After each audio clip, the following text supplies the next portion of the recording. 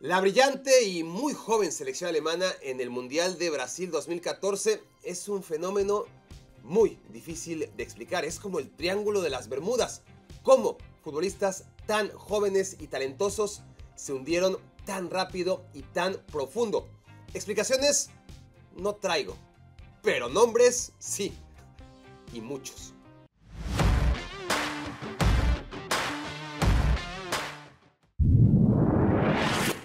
El primero en derrumbarse fue Kevin Grosskreutz. De hecho, cuando llegó al Mundial, el mediocampista del Dortmund, símbolo del bicampeonato por su pundonor y puntualidad, y de solo 25 años, ya estaba en plena caída libre. Tanto que no disputó ni un solo minuto del Mundial, pero fue campeón del mundo, y como tal, resultó insólito verle caer tan rápido y tan profundo. En 2016, Grosskreutz se fue al Stuttgart. En 2017 al Darmstadt de segunda división. En 2018 al Werdingen de tercera división, donde pronto perdió la titularidad. En 2021 por fin encontró un equipo donde tener minutos y protagonismo. El Bobinghausen de sexta división, con el que en 2022 ascendió a quinta antes de que volviéramos a perderle la pista. Un semidesconocido defensa central de la Sampdoria ganó el Mundial a los 22 años. Su nombre es Kodran Mustafi. Su papel, cubrir a Philip Lam en el lateral derecho en los primeros partidos, cuando Joachim Löw puso al capitán a jugar en medio campo. Mustafi ni siquiera estaba contemplado en la convocatoria inicial, pero encontró hueco de última hora cuando Marco Royce fue baja por lesionarse el tobillo cinco días antes de la Copa del Mundo. Mustafi nunca fue bueno, pero era joven y campeón del mundo. Eso lo llevó al Valencia primero y al Arsenal después, que pagó la brutalidad de 41 millones de euros para hacerlo líder de su defensa en 2016. Lejos de aquello, se convirtió en uno de los peores que haya pisado nunca el Emirates y créanme, eso ya es demasiado decir. Acto seguido, descendió con el Schalke 04 y también con el Levante. Luego de ser suplente con este último en segunda división, Mustafi quedó desvinculado este verano y a los 31 años, el campeón del mundo está desempleado. Les presento a Eric Durm, campeón del mundo en Maracaná, a los 22 años y tras haber jugado 19 partidos como profesional, apenas 14 de ellos en condición de titular es probablemente el camino más rápido de todos los tiempos que a nadie haya conducido a ganar el mundial. Nada de tropiezos, sin sabores, caer, levantarse. Todo lo que se supone debes trabajar y sufrir antes de conseguir algo tan importante. Nada. Durm tuvo pase directo, se saltó todo el sacrificio. Y tampoco es que el que era joven lateral del Borussia Dortmund haya jugado demasiado desde entonces seis partidos con la selección, todos ellos en invierno de 2014 después de ganar la Copa del Mundo, y menos de 100 juegos en primera repartidos entre Dortmund, Huddersfield y Eintracht Frankfurt. Menos de 100 partidos en 8 años, ¿eh? A una docena de juegos por temporada para el desconocido de 31 años que ahora está en segunda división con el Kaiserslautern. El campeón del mundo al que absolutamente nadie puede identificar en las fotos de la celebración y de no ser por ellas, no le creeríamos que una vez ganó el Mundial. Viaja conmigo a la Copa América, a la Eurocopa o al Real Madrid Barcelona. Tú escoges. Entra a mi cuenta de Instagram y hazte miembro de este canal. Más información aquí abajo en la descripción de este video. Julian Draxler, la joya de la selección alemana en 2014, el más joven de todos con 20 años, destinado a jugar 4 o 5 mundiales y a ganar por lo menos dos. ¿Quién sabe si hasta tres como Pelé? Ahora suena a burla, pero en verano de 2014, cuando Draxler ganó el Mundial, parecía apuesta segura. En 2011, a los 17 años, había ganado la Pocal con el Schalke anotando gol en la final, aparte de meterse hasta semifinales de la Champions League. En 2013, a los 19 años, Draxler había anotado 10 goles en la Bundesliga. Y para asistencias, ¿qué tal esta que hizo posible que el de Raúl fuera galardonado como gol del año en 2013. En 2013-14, justo antes del Mundial, fue seleccionado en el 11 ideal de la Bundesliga. Draxler entró de cambio al minuto 76 en la masacre a la selección brasileña. Parecía solamente el principio de una carrera de leyenda en los mundiales, pero ya ven, Draxler nunca volvió a meter 10 goles en una temporada. Ni siquiera pudo pasar de 4 o 5 por año. Desperdició un lustro entero de su carrera en la banca del Paris Saint-Germain hasta que se fue al Benfica el año pasado, pero ya era demasiado tarde para ser rescatado. Ahora, a los 30 años recién cumplidos, acabó en la Liga de Qatar, mejor conocida como el plato árabe de segunda mesa para quienes ya no atraen ni a Arabia Saudita. Si alguien nos hubiera advertido que todos los jugadores campeones del mundo en Brasil 2014 se iban a desplomar dramáticamente, todos menos uno, a lo mejor hubiéramos apostado por Mesut Özil. El mediocampista fue titular en los siete partidos que consagraron a la selección alemana en la Copa del Mundo. Tenía 25 años y acababa de fichar por el Arsenal, dejando al madridismo indignado con Florentino Pérez. Nadie entendía cómo dejó ir al talentoso y con José Mourinho en el banco, muy esforzado futbolista alemán.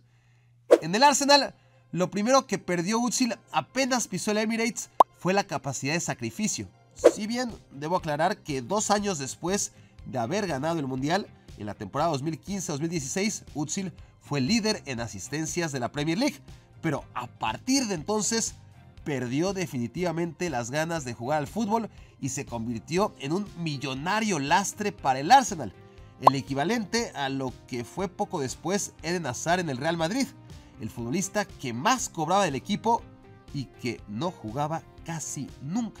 Eventualmente Özil se marchó a Turquía y ahí tampoco pasó nada. Lo peor no es que se retirara del fútbol a los 33 años, sino que desde que tenía 27 dejamos de saber nada bueno de él. La todopoderosa Alemania de 2014 no tenía lateral izquierdo, así que puso en esa posición a Benedikt Jubides, central del Schalke 04. Sí, otro del Schalke. A lo mejor ahí estaba el problema. En fin, Jubides fue junto a Manuel Neuer, Philip Lam y Tony Cross uno de los cuatro campeones del mundo que disputaron cada minuto de Brasil 2014. El tema es que mientras los otros tres son leyendas sagradas, Jubides, que tenía 26 años, se perdió terriblemente. Pasó toda su carrera en el Schalke hasta que en 2017 la Juventus lo liberó. Lo malo es que lo puso a jugar literalmente tres partidos en la Serie A.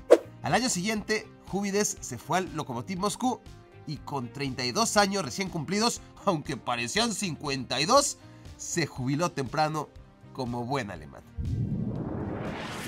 Nadie recuerda que Christoph Kramer fuera titular en la final de la Copa del Mundo. Ni siquiera él mismo. Esta es la historia. Sami Khedira se lesionó en el calentamiento minutos antes del silbatazo inicial. Kramer, mediocampista de 23 años, se sacó la lotería. Fue el gran afortunado que se benefició de la inesperada baja y salió en el once inicial de Alemania en Maracaná. Al minuto 15 chocó con Ezequiel Garay y nadie pensó que se había hecho daño, pero 15 minutos más tarde, el jugador del Borussia Mönchengladbach se acercó al árbitro Marco Rizzoli y le preguntó si estaba jugando la final del Mundial o qué. Fue entonces cuando se percataron que Kramer había sufrido una conmoción cerebral. Como consecuencia, no puede recordar absolutamente nada de aquel partido. Tiene borrada para siempre esa memoria. Por su edad, calidad y proyección, Brasil 2014 solo debió ser una de por lo menos tres Copas del Mundo para Christoph Kramer, pero lo único que jugó fue tres partidos como titular después de aquel su único mundial. Ni Eurocopa ni nada parecido. Kramer no ha sido convocado a la selección desde marzo de 2016 y ya ni siquiera salió del Borussia Mönchengladbach, donde a los 32 años lleva varias temporadas siendo medio titular medio suplente. André Schurle fue elegido para entrar de cambio en lugar de Kramer y así jugar 59 minutos de la final contra Argentina, más de 90 si tomamos en cuenta tiempo extra y agregado. Los desquitó con creces. Suyo fue el pase al golazo de Mario Götze. También hablaremos de él, que evitó los tiros penales. Antes de la final, Schurle había colaborado con dos séptimos de la histórica goleada a Brasil, o sea, el 30% de los goles en la semifinal. Schurle tenía 23 años. Técnicamente no era tan virtuoso como la mayoría de sus compañeros, pero lo compensaba con una entrega sin igual. Tener a Schurle era como salir a jugar con 12. Cuando ganó la Copa del Mundo, el joven extremo ya llevaba un año en el Chelsea tras haber deslumbrado en el Bayern Leverkusen. Mas, terminado el Mundial, apenas duró seis meses en manos de José Mourinho. Para 2015 ya estaba de regreso en la Bundesliga, donde no cuajó ni en el Wolfsburg ni en el Borussia Dortmund. Schürrle volvió a Inglaterra por la puerta trasera y duró un ratito en el Fulham y menos aún en su último destino, el Spartak de Moscú, donde a los 29 años se cansó. Se cansó de fracasar. Se cansó del mundo vacío del fútbol moderno. Se cansó de la competencia diaria a la que debe someterse un futbolista de élite. Por eso lo dejó todo y lo cambió por algo que en verdad alimentara su espíritu. Y eso es escalar montañas semidesnudo. El dramático efecto dominó que hundió a media Alemania empezó con la lesión de Sami Khedira y a partir de ahí la desgracia se viralizó al ritmo de cualquier video de Barack Feber. Bueno, no. El tema es que Khedira en verano de 2014 llevaba ya tiempo en el Real Madrid y es justo recordar que no era lo que se dice el ídolo indiscutido de la afición merengue. Pero en el Mundial voló, sobre todo en aquel partido en que Alemania trituró a Brasil, posiblemente el ex de Stuttgart fue el más inspirado de todos en el mega histórico Mineirazo. Sin embargo, un año después, en 2015, Kedira se fue gratis a la Juventus. Ahí estuvo cinco temporadas, dos correctas, tres malas. En 2019, a los 32 años, ya había perdido toda continuidad e inercia competitiva. Dos temporadas más tarde, Kedira volvió a la Bundesliga con el Hertha Berlín, pero para entonces ya estaba acabado y colgó las botas de inmediato. Hay algunos niños que al soñar no tienen grandes ambiciones. Ser estrella de rock, encontrar la cura contra el cáncer, ser presidente de la nación, casarse con Kareli Ruiz, etc. Pero hay otros que sí sueñan en grande. Ser futbolista profesional y jugar en el Mundial y ganar la Copa del Mundo. Mm, y que el marcador sea 1 a 0. Y meter el único gol. Y que sea en el último minuto. Y que el rival sea Lionel Messi. Mm, y que el partido se juegue en mm, Maracaná. Bueno, todo esto, capricho a capricho, se le concedió a Mario Goetze a los 22 años. La pregunta es, ¿y después qué? ¿Te retiras? ¿Vuelves a empezar? ¿Qué haces? Lo que hizo Mario Goetze fue caer en picada del Bayern volvió al Dortmund, ahí donde le habían jurado odio eterno tras haberse marchado a Múnich justo el año previo al Mundial. Eventualmente fue a dar hasta el PSV y ahora es el Eintracht Frankfurt el último en haber invertido en el reciclaje de Mario Götze. Cierto es que padeció un desorden metabólico con consecuencias musculares que ni mucho menos ayudaron a amortiguar su caída libre. Y cierto es que gracias a aquel gol contra Argentina todos los aficionados al fútbol en Alemania, empezando por los que aún no han nacido, conocerán desde chiquitos su nombre por los siglos de los siglos. Todos recordarán el gol de Götze. Nadie se acordará de su rápido ocaso. En 2014, Mats Hummels estaba a la altura de los mejores centrales de la época. Sergio Ramos, Gerard Piqué, Thiago Silva. Tenía solo 25 años y ya era todo un campeón del mundo. Su nombre iba a quedar inscrito junto al de otros defensores de época como Franz Beckenbauer, Bertie Fox, Matthias Sammer o eso queríamos pensar sobre el fino central del Borussia Dortmund. Su carrera no se desplomó tan dramáticamente como la de otros compañeros de generación, pero vaya si se vino abajo. Hummels se fue al Bayern Múnich. Ahí estuvo horrible. Regresó al Dortmund tres años después con la cola entre las patas y acabó de caer en desgracia en Rusia 2018. Tras el fracaso sin precedentes de la selección alemana, Joachim Löw retiró unilateralmente de la selección a tres chivos expiatorios, Thomas Müller, Jerome Boateng y Mats Hummels. Este último tenía apenas 29 años y había ido a solamente dos mundiales, pero aún así lo trataron como viejo inservible. Luff se echó atrás y lo llevó a la Euro 2020, aunque desearía no haberlo hecho porque Hummels celebró su vuelta a la selección con tremendo autogol en el partido contra Francia que Alemania perdió 1 a 0.